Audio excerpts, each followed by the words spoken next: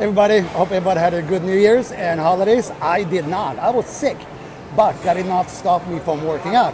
I'm back at it now, but I'm pretty tired.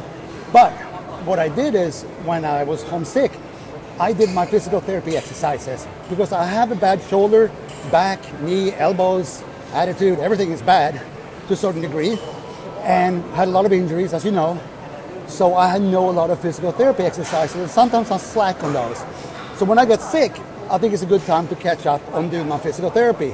That way, I still being active. I'm still taking care of myself.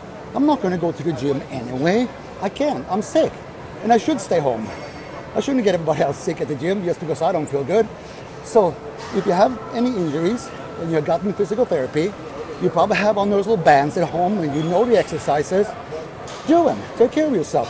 Strengthen yourself up. And when you feel ready, you're stronger coming back into the gym. All right, try it out. See if you like it.